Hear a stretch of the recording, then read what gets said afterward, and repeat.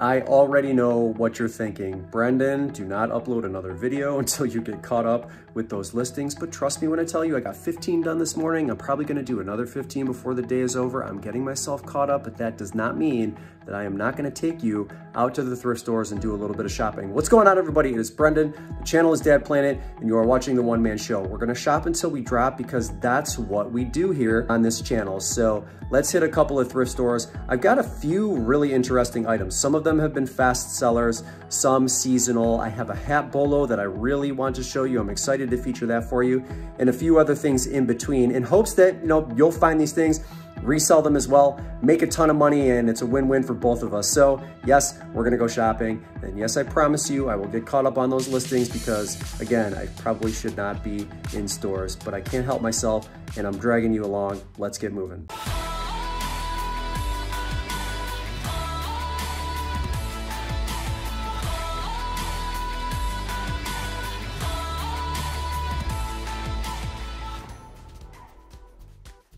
All right, we're gonna hit a small store first and I grab a bag of dolls here. So I see Ever After High Dolls and I'm not really familiar with them.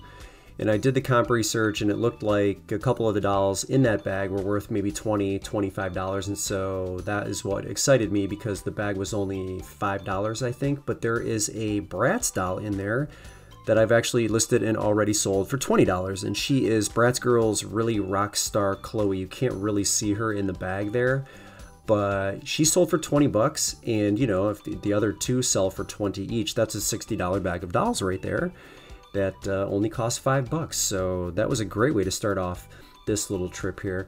Next horsebit style shoes are in style and in demand right now so always pay close attention to them. I passed up on the cole haans but grabbing the hey dudes they're all over the place now that i know that they are a bolo. These are Wallys um, brown walnut color with a plaid interior. I think men's yeah men's size 10. And I'm gonna list these for $30. They sell pretty easily brand new in the $60 range.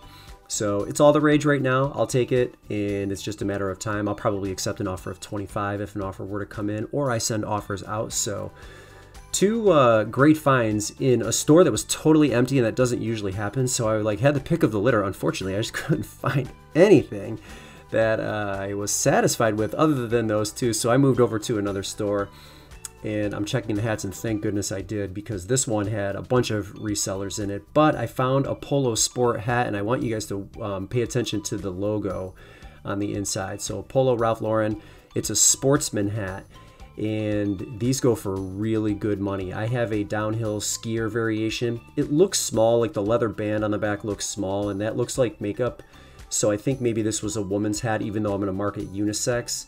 Um, the leather strap in the back is a little bit tiny, and I don't think that it was cut, but I'm going to list this hat for $100. The comps for Polo Sport Sportsman hats are unbelievable. So I feel like that was a decent find, and you know, I'm going to list high, take my chances. We got winter coming up, and where there is smoke, there is fire. So I'm digging through the rest of the hats to make sure that there's nothing else in there that's vintage and valuable. But usually, you know, where there's one, there's two, there's three, there's four. Unfortunately, I just found the one. I shouldn't say unfortunately, though, because it's a $100 hat. Next, very fast seller right here, Gemmy Floating Grim Reaper was the price on that. I think they wanted $7 for that. It looked brand new in the package, and when I was looking at it originally, I couldn't really figure out where the batteries go. It goes in one of those tubes. So when I got it home, I opened up the battery compartment, everything was clean.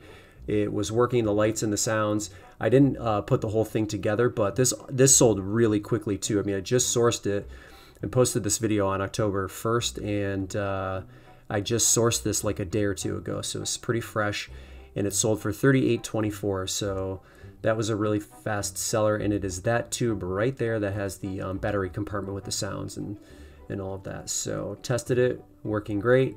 Got it sold, quick seller, because you know we have Halloween very, very close. If you're sourcing for Halloween, you have to get your stuff listed now because you are definitely running out of time. There are people that will buy year round, but the buying frenzy is probably going on as we speak and coming to an end. So Next thing here is a Disney Parks. This is like a poison apple Halloween bucket.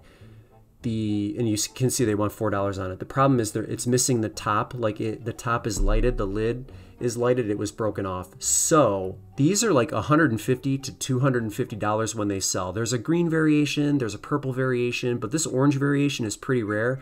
So I'm gonna list mine for 50, even though it doesn't have the top. I mean, it's still fun. And here I'm like digging through, you know, all of this stuff to see if I can find it. I could not find it, but um, it still has a function, right? Somebody can still use it for Halloween. So I'm gonna list that at 50 just because it is rare, even though the lid is missing. Next thing I find right here this is a pretty massive animated Santa by the fireplace. I forget what the brand is. Smile International, I think, was the brand on this. I don't remember exactly. Um, they want $8 for it. I'm going to put it in my cart. Little puppy dog right there with the child. This was really cute. And these are these can sell for a, a big, big profit if uh, you get them for a good price like this. So I got it, tested it, and unfortunately, it, the sound wasn't working and uh, the tree didn't have any lights, so I had to return that. So that was unfortunate, but that could have been a couple hundred bucks. I'm gonna take this guy though, this uh, Goofy hat, Goofy mesh trucker hat. It's vintage, and I think it's Walt Disney World. Yes, and it's like a, the plastic version. You'll see a softer version, or like a fabric version. That's the less valuable style. So just checking to make sure that there's no tears in the ears, but I'll list that for 25 bucks. It's only gonna cost me two and there's good resale value on that. So I'm going to be aggressive at 25 because I've even seen some sell for the for $30 and um, even more. So that was another nice find too. Again, just a couple bucks because it's a hat and the price wasn't marked. So yeah, that was good too. Moving over to the last store right here. I know this is a nice pair of knit Brooks, but they had too. Was it Brooks? Yeah, Brooks. They got too much wear on the bottoms. I don't want to sell something like that. Just a matter of time before it pops. Good pair of Hoka's here, though. These are women's size 9. They're Gaviota 4s. And what was the price? Okay, they want $4.99 for a little bit of wear on the soles, but plenty of life left in those. Very clean uppers, and the midsoles look nice, too. So I'm going to list those for 50 bucks. I think that's the going rate. I didn't look this Harley Davidson helmet up. If it was 250 bucks, I totally missed it. But at 49.99, to me, it wasn't even worth getting my phone out. Could have been a mistake. Like I said, it could have been two, two, three hundred dollar helmet, but I'm I'm guessing that it wasn't. So I didn't look it up, and I passed it on. And just checking out the plush. This is a this store is interesting that I'm in because I think it's the Volunteers of America. It's huge, and they never really have a ton of anything. So the shelves, at least in the back of the hard goods and plush like this, they're always super bare. I don't know if that's is they just don't get as much donations as Goodwill, but if you see something, let me know. I didn't see any plush there and just not a lot of toys, hard goods. The um, electronics didn't really have anything going on, but I like this pair of shoes so far and I like the last item that I end up picking up here in just a second. But yeah, I don't see I don't see much in the way of toys and this is like the third or fourth trip where I've seen nothing on these shelves. I found like a, a good Street Shark a little while ago, but it's been a while since I found something else. Last thing here, LL Bean. This is a snow mold Yeti. It was like brand new, and you had to go longer, you had to go past 90 days to find some good comps. But I'm gonna price this guy at around $55 with reasonable shipping. It comes with the box. It comes with the instructions. They want $7 for it. $55 is perfect. That's about what my um, average sales price is. So I will take him with me, and uh, we're not doing too bad. If you total everything up, I, it's only $37 spent, and the listed value would be $315. So I'll take that all day. Let's take a look at the Polo Sportsman hat a little bit closer here. So I'm in Terapeak, and Terapeak gives you 365 days of sold comparables to go on when you're searching the app or you're just searching through eBay solds, eBay only gives you 90 days. So using Terapeak is really important to get a bigger picture. It helps you seasonally if you're sourcing comps and you're trying to find accurate sales numbers. So we're looking at Polo Sport Sportsman hat as a keyword. And of course, I have it filtered for pre-owned only. I'm not um, selecting new, but you can see the average sold price for these hats is $80 and there have been a hundred sold in the last um, year. I keep saying calendar year. I don't know. It's just the, the last 12 months for a total of uh, almost $8,000.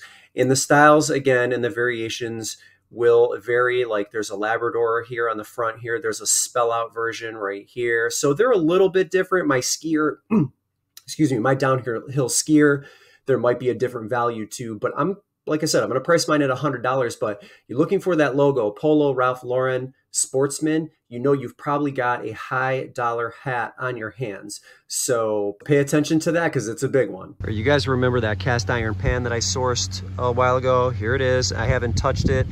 Bought it for $8, but I'm showing you the condition of it now because I am going to season it. It was Wagner ware.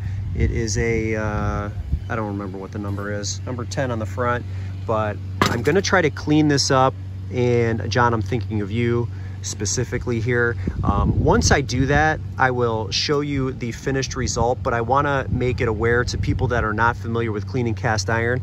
If you use vegetable oil, or if you use any oil in here, make sure it's vegetable oil. Do not use extra virgin olive oil because that will burn.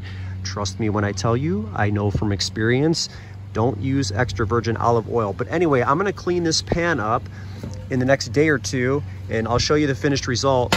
Um, hopefully it comes out nice. I am by no means an expert at cleaning cast iron, but I'll give it a try and you know, I'll, I'll try to touch it up a little bit and then maybe the person that purchases this can do a full restore. But um, yeah, I'll, uh, I'll touch this guy up and I'll let you know what it looks like when it's finished.